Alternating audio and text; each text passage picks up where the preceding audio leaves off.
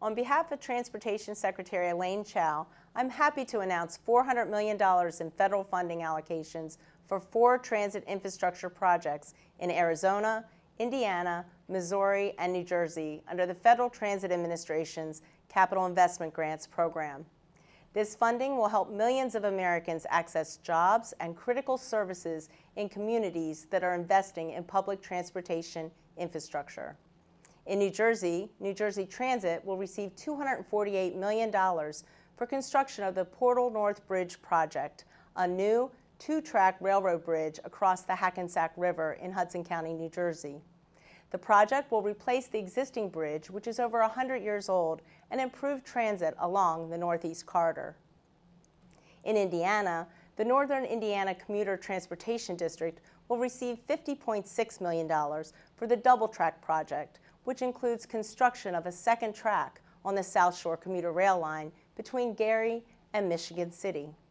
This project will improve transportation options for Northwest Indiana residents traveling to downtown Chicago and surrounding areas, as well as to South Bend International Airport.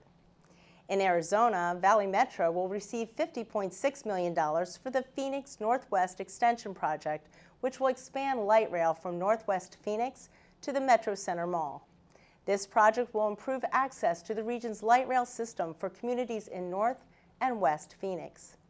In Missouri, the City of Kansas City will receive $50.8 million for the Kansas City Streetcar Extension, which will expand streetcar service from Union Station to the University of Missouri Kansas City.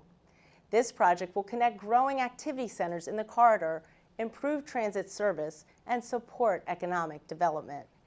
With this announcement, the Trump administration has advanced funding for 39 new transit infrastructure projects throughout the nation, totaling approximately $9.7 billion in funding commitments. This funding is in addition to the $25 billion in federal aid this administration is providing to transit systems nationwide to respond to and recover from the COVID-19 public health emergency.